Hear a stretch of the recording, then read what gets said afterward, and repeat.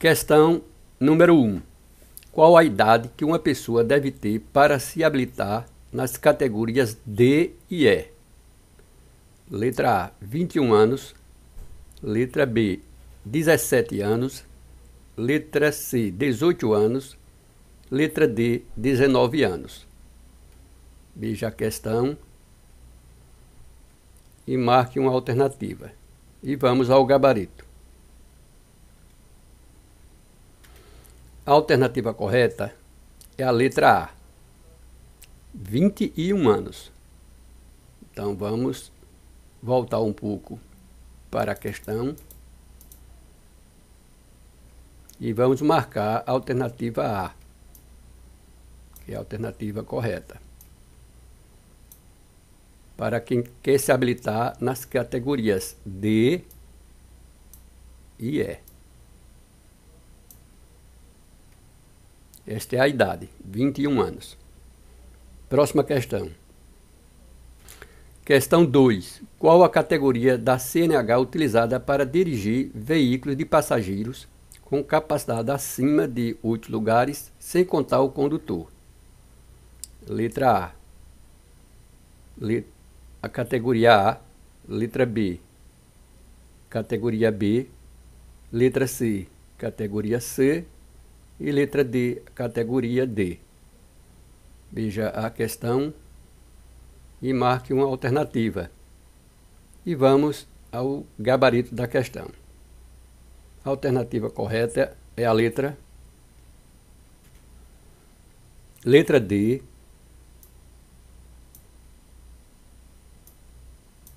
A categoria D. Vamos voltar à questão para lermos de novo a questão, qual a categoria da CNH utilizada para dirigir veículo de passageiro com capacidade acima de 8 lugares, sem contar o condutor? Alternativa D é a alternativa correta. Próxima questão. Questão 3. Em relação ao novo modelo de carteira de habilitação, Letra A. Tem validade de acordo com o exame de sanidade física e mental. Letra B. Pode o motorista portar uma cópia autenticada. Letra C. Deve ser renovada a cada 10 anos. E letra D. Deve ser renovada a cada ano. Veja a questão e marque uma alternativa. E vamos ao gabarito. A alternativa correta é a letra A tem validade de acordo com o exame de sanidade físico e mental. Então vamos voltar à questão e vamos repeti-la para memorizar melhor. Em relação ao novo modelo de carteira de habilitação, a resposta correta é a letra A. tem validade de acordo com o exame de sanidade físico e mental. Física e mental. Vamos à próxima questão. Questão 4. São documentos exigidos para fazer a transferência do veículo? Letra A. CRV, RG e comprovante de residência. Letra B. CRV e CNH. Letra C. Seguro obrigatório e DUT. Letra D, carteira de habilitação e autorização do proprietário do veículo. Veja a questão e marque uma alternativa. E vamos ao gabarito. A alternativa correta é a letra A. CRV, RG e comprovante de residência. Então vamos marcar a letra A.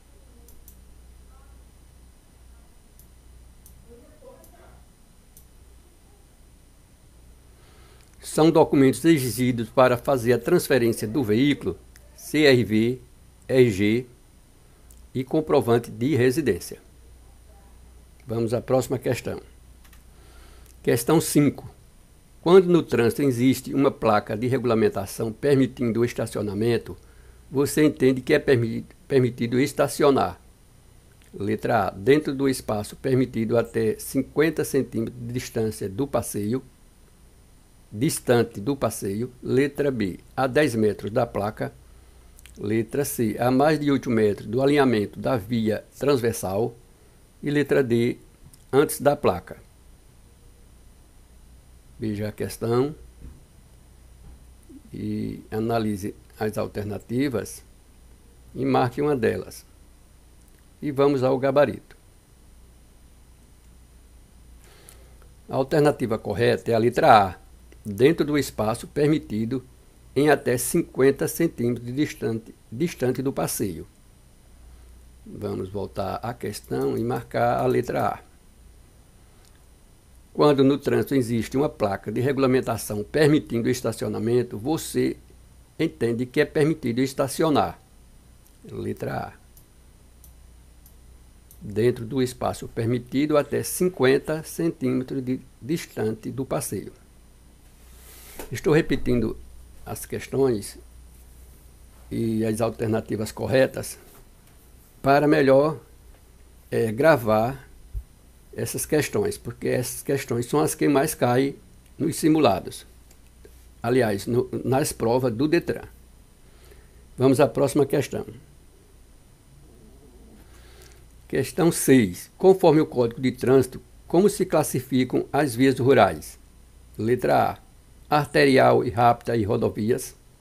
Letra B. Vias de trânsito rápido, arteriais, coleturas e locais. Letra C. Rodovias e estradas. E letra D. Vicinais, expressas e preferenciais. Veja a questão e marque uma alternativa. E vamos ao gabarito. A alternativa correta é a letra C, rodovias e estradas. Bom, vamos marcar então a letra C, rodovias e estradas, que é conforme o Código de Trânsito, se classificam as vias rurais. Veja que são as vias rurais. não é a urbana, são somente as vias rurais. Então se classifica em rodovias e estradas. Vamos à próxima questão. Questão 7. Qual a velocidade que um ônibus pode desenvolver em uma rodovia sem sinalização? Letra A, 70 km horários. Letra B, 80 km horário. Letra C, 90 km horário. E letra D, 100 km horário.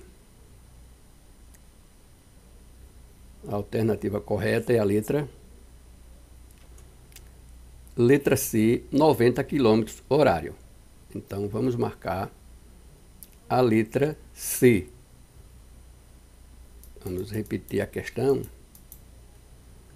Qual a velocidade que um ônibus pode desenvolver em uma rodovia sem sinalização?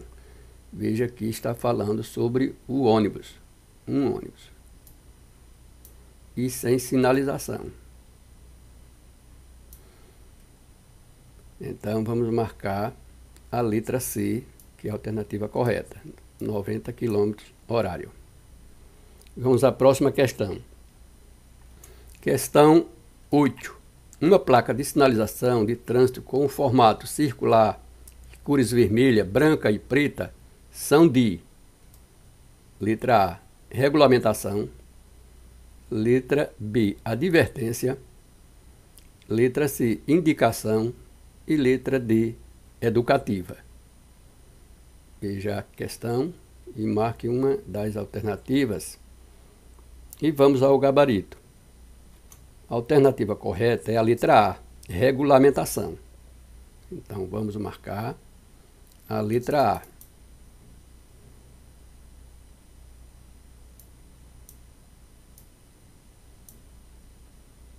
uma placa de sinalização de trânsito com formato circular, a placa de regulamentação tem um formato circular. E as cores são vermelha, branca e preta. Vamos à próxima questão. Questão 9. Quando o condutor desobedece a uma placa de regulamentação no trânsito, estará cometendo, letra A, multa, Letra B, infração de trânsito. Letra C, notificação. E letra D, penalidade. A alternativa correta é a letra Letra B, infração de trânsito. Então vamos marcar a letra B.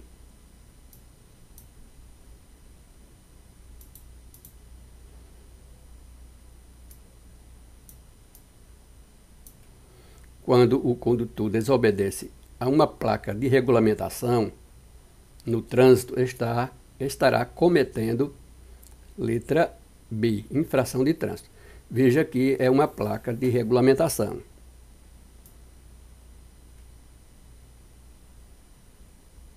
Não é que se fosse uma placa de advertência ou de sinalização, não estava, não estava cometendo infração. Mas como é uma placa de regulamentação, então é uma infração de trânsito. Vamos à próxima questão. Questão 10. Quando o proprietário do veículo empresta seu carro a alguém e este condutor comete uma infração de trânsito, qual o prazo mínimo que o proprietário tem para informar ao Detran quem estava na direção do veículo? Letra A, 5 dias. Letra B, 10 dias. Letra C, 15 dias. E letra D, 30 dias. Veja a questão e marque uma das alternativas. A alternativa correta é a letra letra C, 15 dias.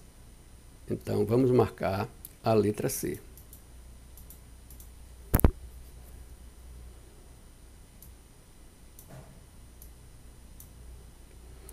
Vamos repetir a questão para memorizá-la melhor.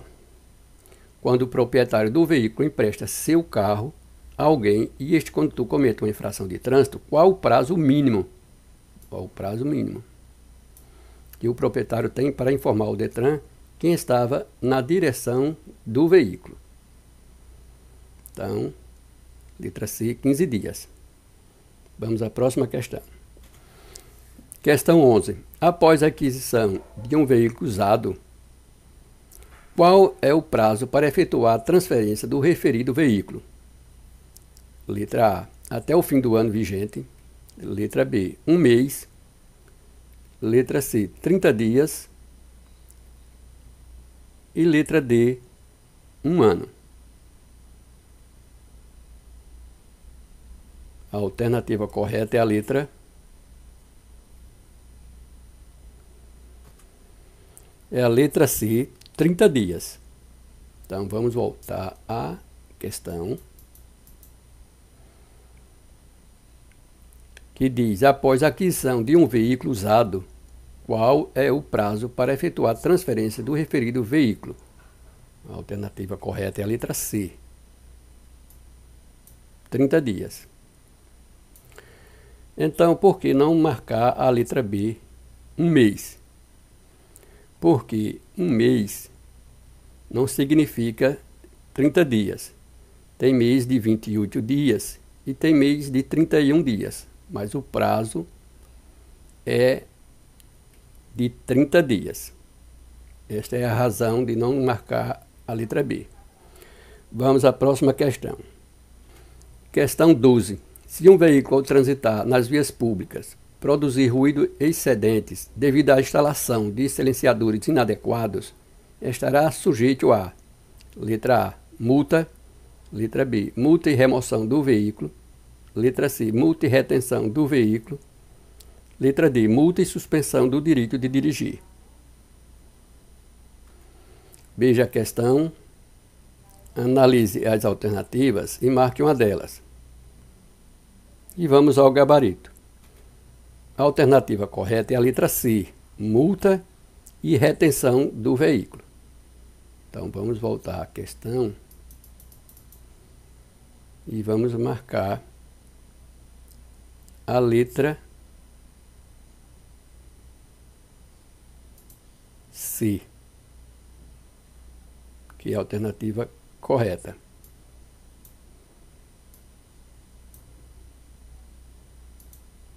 Se um veículo, ao transitar nas vias públicas, produzir ruídos excedentes, são ruídos excedentes, devido à instalação de silenciadores inadequados.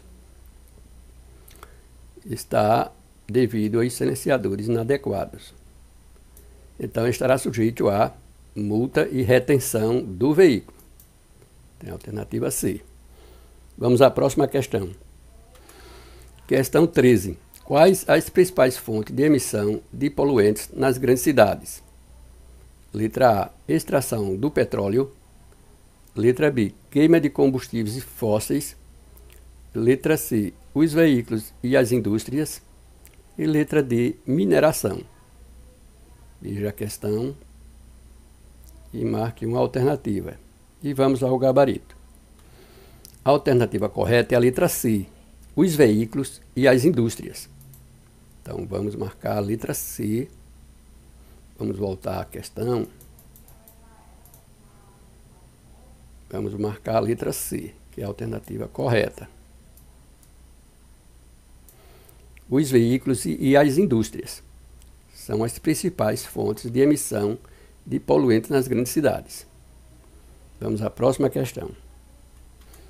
Questão 14. Qual é o programa instituído pelo CONAMA que regulamenta os níveis de poluição produzidas por veículos automotores. Letra A, Projeto Jari. Letra B, Eco 92. Letra C, Proconv. E letra D, Carta da Terra.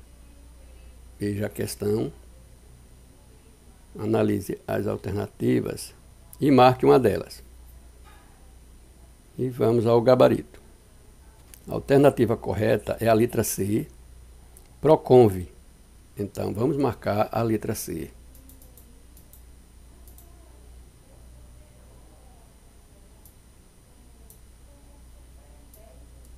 Proconve é o programa instituído pelo CONAMA, que regulamenta os níveis de poluição produzida por veículos automotores. Ele vai regulamentar o nível de poluição produzidos pelos veículos automotores. Então, a letra C, Proconve. Vamos à próxima questão. Questão 15. Dirigir defensivamente significa evitar acidentes. Apesar das situações diversas, quando ocorre um acidente, as estatísticas mostram que a maior parte da culpa recai sobre letra A, o veículo, letra B, o condutor, letra C, situações adversas e letra D, as vias. Veja a questão e marque uma das alternativas e vamos ao gabarito. A alternativa correta é a letra B, o condutor. Então vamos marcar a letra B. É a alternativa correta. O condutor é o principal é o principal causador de acidentes. Quando ocorre um acidente, as estatísticas mostram que a maior parte da culpa recai sobre o condutor. Então vamos à próxima questão. Questão 16. As estatísticas mostram que um dos principais, uma das principais causas ou principal causa de acidentes é o uso de bebidas alcoólicas. Ao dirigir de acordo com a nova lei que regulamenta este assunto, se o condutor fizer uso do, de álcool ao dirigir, está sujeito a letra A, multa, suspensão do direito de dirigir, recolhimento da CNH e sujeito à prisão do condutor. Letra B, multa e retenção do veículo apenas. Letra C, multa. Letra D, multa e prisão do condutor apenas. Veja a questão. Querendo, pode pausar o vídeo, pois é uma questão longa. E marque uma alternativa e vamos ao gabarito. A alternativa correta é a letra A, multa, suspensão do dirigir, recolhimento da CNH e sujeito à prisão do condutor. Essa é a alternativa correta. Então vamos marcar a letra A. Vocês leiam de novo a questão, pois é uma questão longa, e memorize essa questão. São questões que sempre caem nas provas dos Detran. Vamos à próxima questão. Questão 17. Até quantos anos de idade uma criança deve andar no banco traseiro? Letra A, 5 anos. Letra B, 10 anos. Letra C, 6 anos. Letra D, 7 anos. A alternativa correta é a letra. Letra B, 10 anos. Então vamos marcar a letra B. 10 anos. Esta é a idade que uma criança deve andar no banco traseiro. Menos de 10, an de 10 anos não pode andar. Só a partir de 10 anos. Próxima questão. Questão 18. A suspensão do direito de dirigir ocorre quando? Letra A. Quando cometer qualquer infração gravíssima. Letra B. Quando atingir 20 pontos por infração em 12 meses. Letra C. Somente quando beber ao dirigir. E letra D. Quando a carteira for caçada. Veja a questão e marque uma alternativa. E vamos ao gabarito. A alternativa correta é a letra B, quando atingir 20 pontos por infração em 12 meses. Então, vamos marcar a letra B. E vamos voltar aqui à questão. A suspensão do direito de dirigir ocorre quando?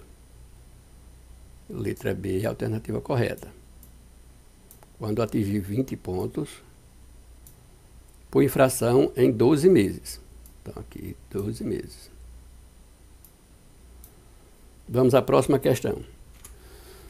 Questão 19. Quando alguém deseja interromper a via pública, depende de Letra A. Autorização da, do prefeito municipal. Letra B. Autorização do DETRAN. Letra C. Autorização do DER. E letra D. Prévia autorização da autoridade de trânsito. A alternativa correta é a letra letra D, prévia autorização da autoridade de trânsito. Então vamos marcar a letra D que é a alternativa correta, quando alguém deseja interromper a via pública, depende de prévia autorização da autoridade de trânsito. Vamos à próxima questão. Questão 20. De acordo com a sinalização horizontal, uma linha divisória na faixa de trânsito pintada na cor branca, letra A, separa fluxos de trânsito de, vi, de vários sentidos, Letra B. Separa fluxo de trânsito de sentidos duplo. Letra C. Separa fluxo de trânsito de sentidos à esquerda. E letra D. Separa fluxo de trânsito de mesmo sentido. Veja a questão. Analise as alternativas e marque uma delas. E vamos ao gabarito. A alternativa correta é a letra D. Separa fluxo de trânsito de mesmo sentido. Então vamos voltar à questão e vamos marcar a letra D.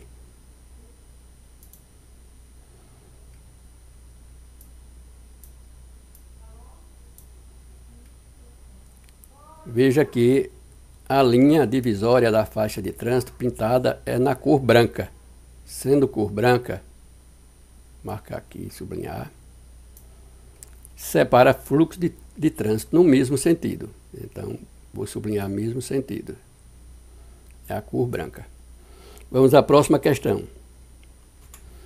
Questão 21. De acordo com o Código de Trânsito Brasileiro, uma linha amarela pintada junto à calçada significa: letra A, permitido estacionar, letra B, proibido estacionar, letra C, estacionamento é oblíquo e letra D, o estacionamento é paralelo.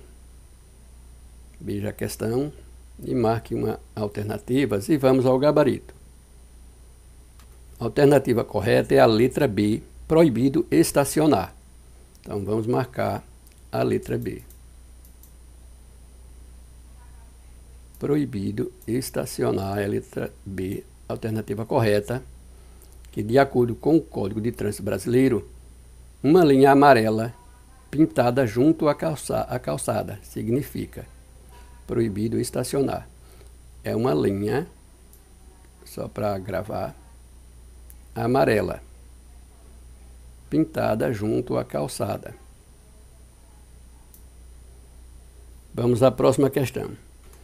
Questão 22. Qual é a posição correta para estacionar uma motocicleta em relação à calçada? Letra A, perpendicular ao alinhamento da calçada. Letra B, paralelo à guia da calçada. Letra C, a mais de 50 centímetros da guia da calçada. E letra D, oblíquo. Veja a questão e marque uma alternativa. E vamos ao gabarito. A alternativa correta é a letra A, perpendicular ao alinhamento da calçada. Então vamos marcar a letra A.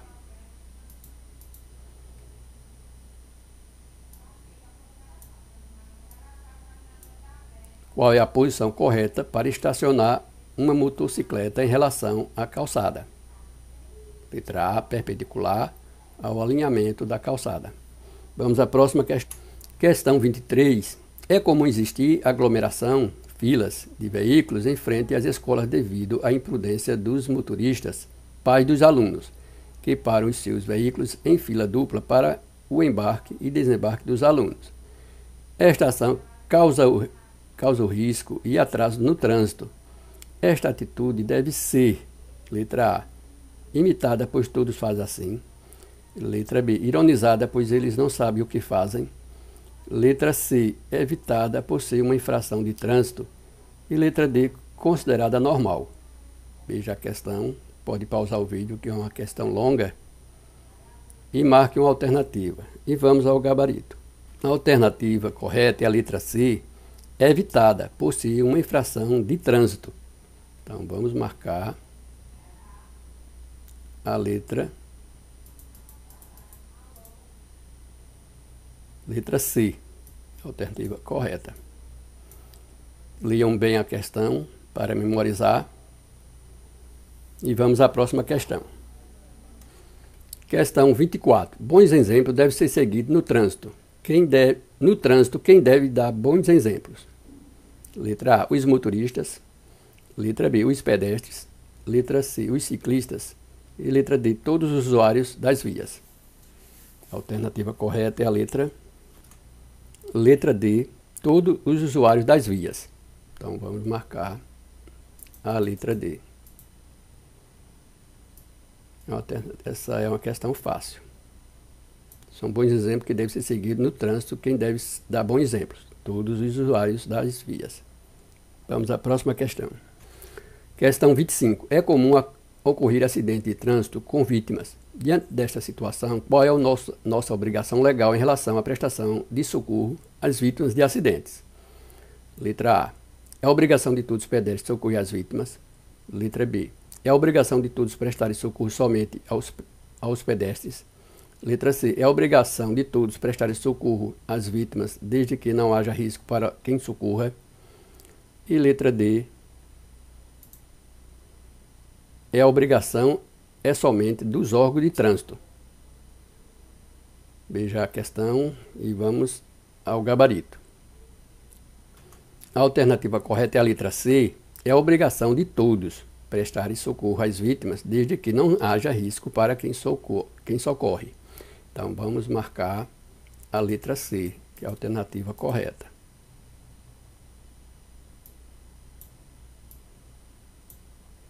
E leiam bem a questão e leiam também alternativas e memorizem. A alternativa correta é a letra C. Próxima questão. Questão 26. Ao atender uma vítima de acidente com parada cardiorrespiratória, qual a sequência correta das ações? Letra A. Fazer duas respirações seguidas de 30 massagens cardíacas por 5 sessões completas.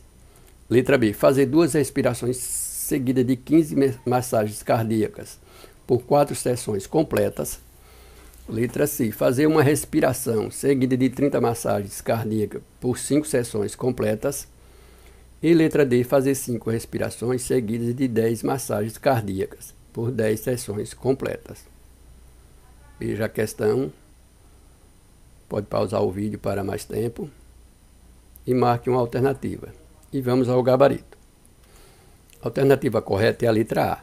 Fazer duas respirações seguidas de 30 massagens cardíacas por 5 sessões completas. Então vamos marcar a letra A,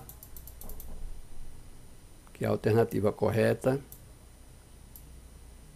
e leiam a questão novamente e a alternativa também, pois é, é uma questão que sempre cai nas provas do Detran.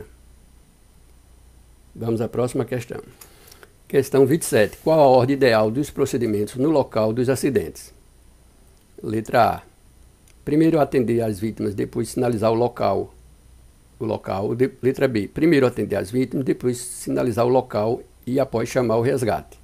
Letra C. Primeiro atender as vítimas, depois sinalizar o local e depois se evadir do local. E letra D. Primeiro sinalizar o local, acionar o socorro e socorrer as vítimas. A alternativa correta é a letra Letra D. Primeiro, sinalizar o local, acionar o socorro e socorrer as vítimas. A alternativa correta é a letra D. E vamos à próxima questão.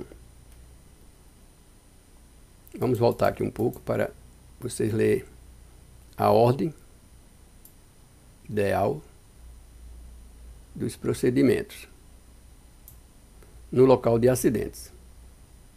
É a letra B. Primeiro, sinalizar o local, acionar o socorro e, por último, socorrer as vítimas. Próxima questão. Questão 28. Quando uma vítima apresentar fraturas expostas com sangramento, deve-se, letra A, estancar a hemorragia, imobilizar a parte fraturada com algo rígido enfaixado junto ao membro. Letra B, imobilizar a parte fraturada depois de estancar a hemorragia. Letra C, colocar gelo na fratura. E letra D, colocar o osso quebrado no lugar imediatamente. Veja a questão e marque uma alternativa. E vamos ao gabarito. A alternativa correta é a letra A. Estancar a hemorragia e imobilizar a parte fraturada com algo rígido, enfaixando junto ao membro. Então vamos voltar à questão e vamos marcar a letra A. A alternativa correta é a letra A quando a vítima apresentar fraturas expostas, vou marcar aqui fraturas expostas, com sangramento. Lembra que vai ter sangramentos. Então a alternativa correta é a letra A. Vamos à próxima questão. Questão 29. Após chegar ao local de um acidente, a polícia constatou que um veículo havia se partido ao meio e também teria derrubado um poste na rede elétrica. No local havia uma placa de R19 é, regulamentando a velocidade máxima em 40 km por hora. Neste caso, pode-se concluir que a causa do acidente foi letra A, imprudência e atenção, letra B, imprudência e excesso de velocidade, e letra C, negligência e imperícia, e letra D, andar em velocidade abaixo da permitida. Veja a questão, podem pausar o vídeo e marquem uma alternativa. E vamos ao gabarito. A alternativa correta é a letra B, imprudência e o excesso de velocidade. Então, vamos marcar a letra B. Veja a questão de novo, para não para memorizá-la melhor. E a alternativa correta é a imprudência e o excesso de velocidade. E vamos à próxima questão. Questão 30 e a última questão desse simulado. Como todos podem ajudar a evitar novos acidentes no local que existe acidente de trânsito. Letra A. Sinalizando corretamente o local, colocando triângulo a uma distância de um, no mínimo 30 metros antes do local do acidente. Letra B. Ceder sempre o seu direito para os outros. Letra C. Fazer aulas de direção para reforçar os reflexos no trânsito. E letra D deixar para que as autoridades decidam o que fazer. Veja a questão e analisem as alternativas. E vamos ao gabarito. A alternativa correta é a letra A, sinalizando corretamente o local, colocando o triângulo a uma distância de no mínimo 30 metros antes do local do acidente. Aqui ficou antes do local, né, do acidente. Então vamos marcar a letra A.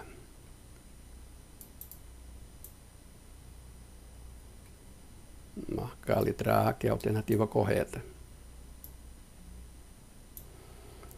Aqui terminamos mais um simulado do Detran.